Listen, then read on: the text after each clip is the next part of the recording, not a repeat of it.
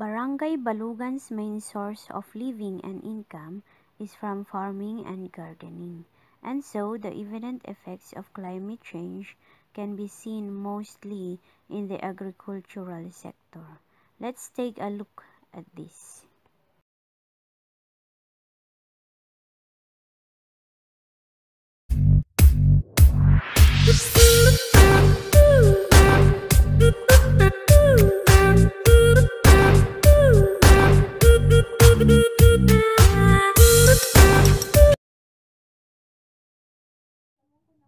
Number one is drought. The fields dried and cracked because of the drought. Number two is the decrease in the harvest of palays. Duane, nan mapapit sinan kayo. Dati at simpoy sakong. Duane ay timpo abes. Mga ay apit. Tay tinagtag di dalalo. Yanan itakan di ana adi bataway adi umud-ud-udan. Dito naman alasan at bali na First lima. is the emergence of pests and insects. adito ko amo sandi ay umalian sandi lumlum di uh, ano ba yon September ay sinuri sandi ay kadkada na uh, orange ang color panbanyaga wasan na lumlum to di. Na maid. Apod mo apod na nan kiling kat umisyan umalis na an December which is uh, dapat kat wada dis nan last week of October or first week of November. Idwani adito ko amo sino nan uh, mamangyari? Note, I had this video this month of June and the pests and insects already started attacking the plants.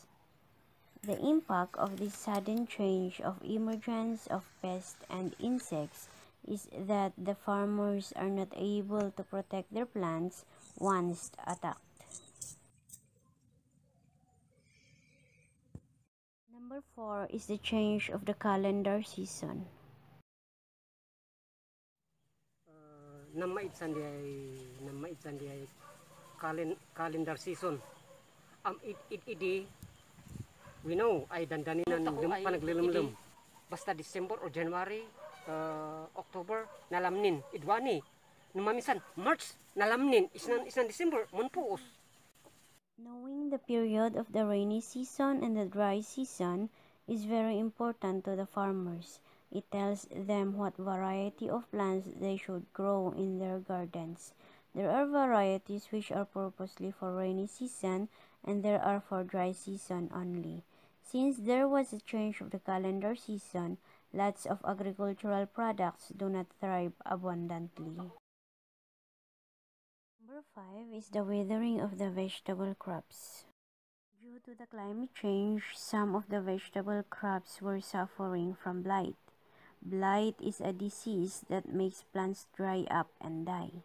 It is marked by the formation of lesions, withering, and death of parts.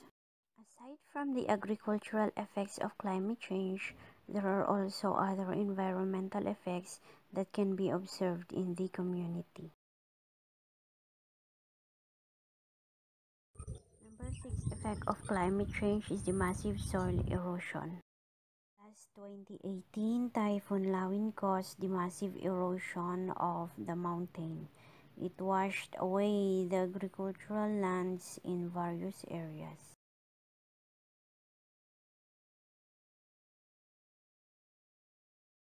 How can we mitigate this climate change?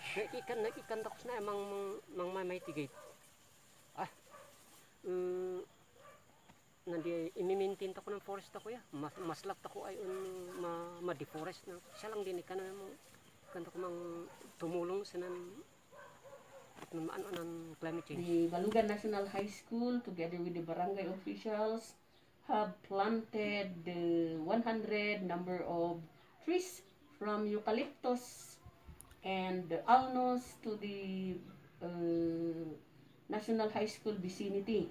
That is one way of mitigating this uh, climate change, I think.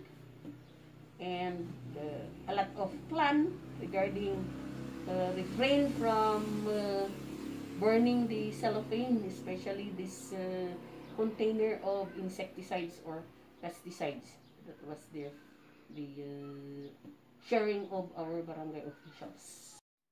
Farmers also engage in organic farming as one way of mitigating climate change. They use chicken manures, compost, and burnt palay stalks as fertilizers in their gardens and rice fields. Mitigation of climate change can be made possible with the cooperation of everybody. It is our duty and responsibility to protect our environment. If we want change, Discipline should be always in our vocabulary. Every one of us has his or her own role in this ever-changing world. If we do not act today, imagine how our children will suffer the consequences of our decisions. Let us act now for our children, for our grandchildren, and for the future.